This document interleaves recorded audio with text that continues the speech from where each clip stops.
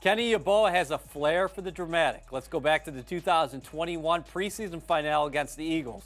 Yeboah catches two touchdowns in the final 649, including a 49-yard Hail Mary with no time on the clock.